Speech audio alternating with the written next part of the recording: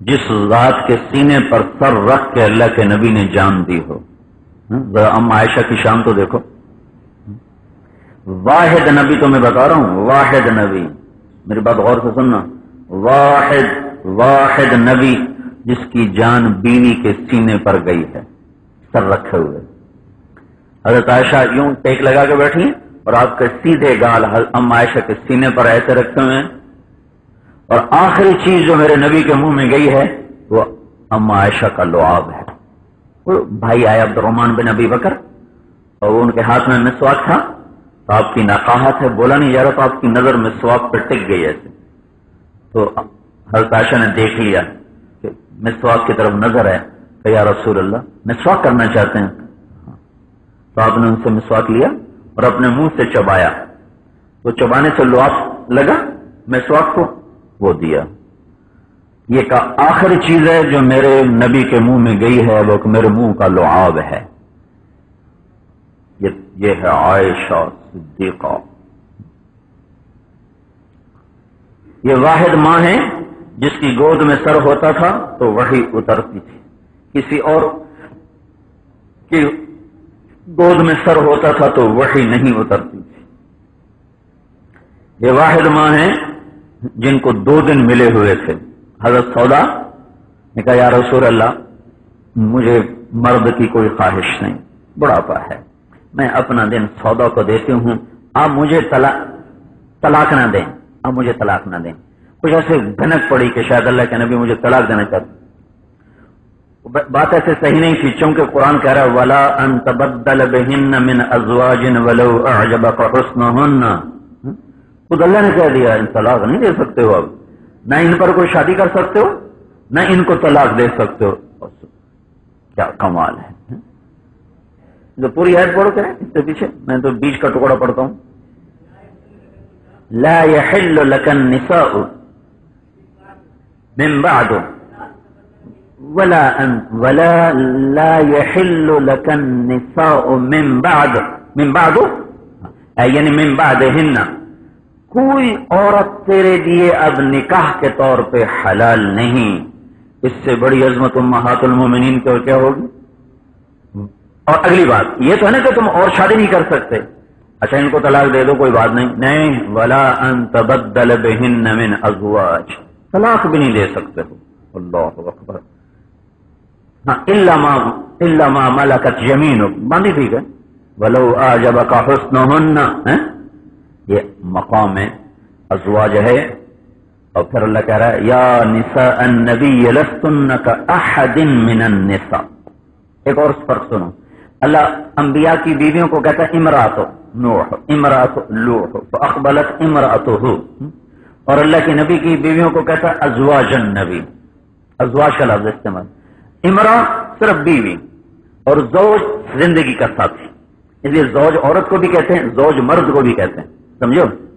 زوج مرد عورت دونوں کو بولا جاتا ہے اور امرا صرف عورت پہ بولا جاتا ہے۔ امرا کا لفظ صرف ایک وہ جو انسانی شہوت، حلال طریقے پر پورا کرنے کا ایک نشان ہے، علامت ہے۔ لیکن زوج دکھ درد سفر حبر، لیل و نہار، شب و روز، جوانی و بڑھاپے کے ساتھی کو کہتے ہیں زوج۔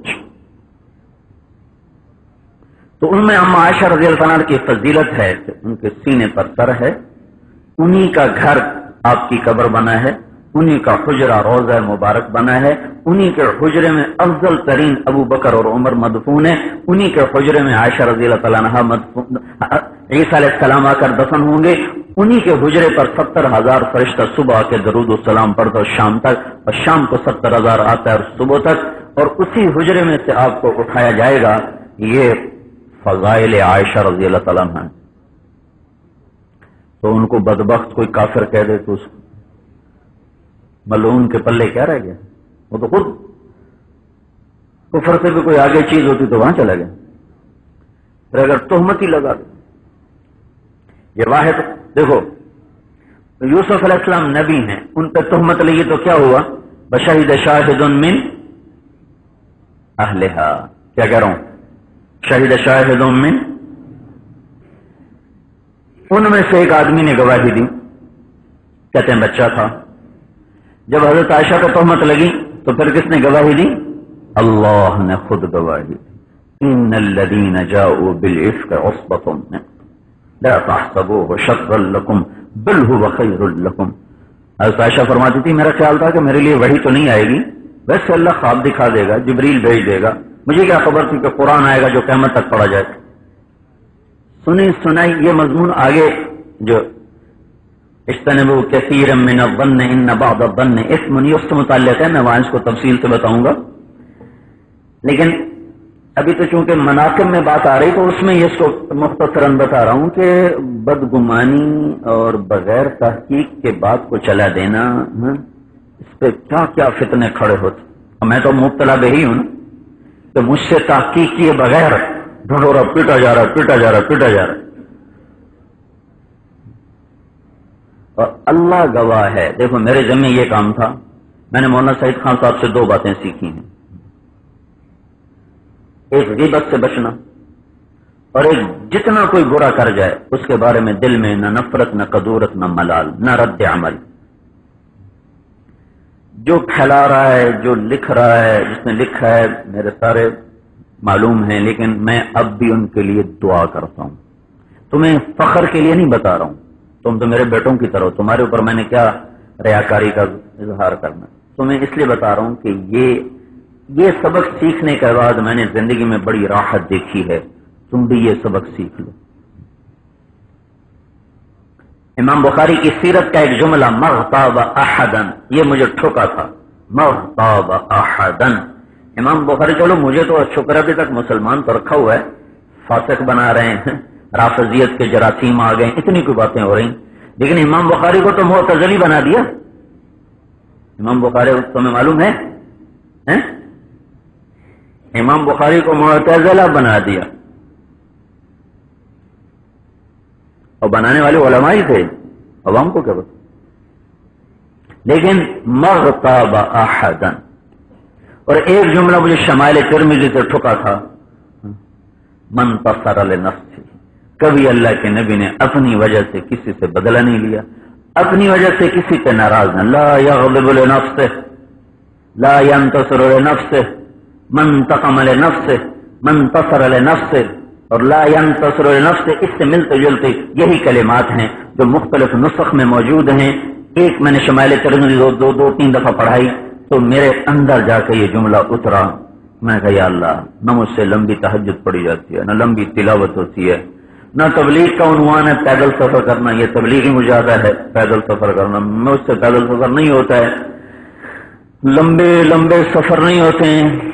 اور تنافس کا حکم ہے وکیل علی کا فلیہ تنافس المتنافس سن تو یا اللہ، میں تجھ سے یہ مانگ، تو مجھے یہ دے دے کہ میں اپنی وجہ سے نہ کبھی کسی سے بگاڑوں۔ میرے اوپر اگر کوئی زیادتی کرے تو میں نہ اس سے بدلا لوں، نہ اس کے بارے میں لب کشائی کروں، نہ اس کے رد عمل میں کوئی قطع تعلق کروں، یا میں بھی ویسے ہی کلمات کا تبادلہ کروں، یا اللہ مجھے یہ دولت دے دے۔ میں نے اللہ سے بہت مانگا بہت مانگا، رو رو کے مانگا۔ اور میں تمہیں اللہ کی نعمت کے اظہار کے لیے بتا رہا ہوں کہ کوئی کتنا بھی کر جائے، میں اس سے قطع تعلق نہیں کرتا ہوں۔ میں اس سے دل برا نہیں کرتا ہوں۔ تب ان ناگواری ایک الگ چیز ہے، اس سے تو کوئی نکل نہیں سکتا ہے۔ لیکن اس کے رد عمل میں تو میں منصوبہ، مجھے علماء تو اب میرے پیچھے پڑے ہیں، تبلیغ والے تو بیس سال سے میرے پیچھے پڑے ہیں۔ اپنے اپنے۔ کیونکہ شہرت ایک فتنہ ہے۔ بحث نمر من الشر ان يشار الیہ بالاصابع فی دینه او دنیاہ الا من عصمه اللہ۔ کسی کی ہلاکت کے لیے کافی ہے کہ انگلیاں اٹھنے لگ جائیں، شہرت کی وہ شہرت دنیا کی ہو یا دین کی ہو، سوائے اس کے جس سے اللہ بچائے اور اللہ ذل جلال کی قسم، مجھے تو خواب بھی نہیں تھا کہ میں دینی نسبت سے اتنی شہرت پاؤں گا۔ میرا تو خاندان دینی نہیں ہے۔ میرا پس منظر، میں تمہیں ابھی تو اپنا خاندان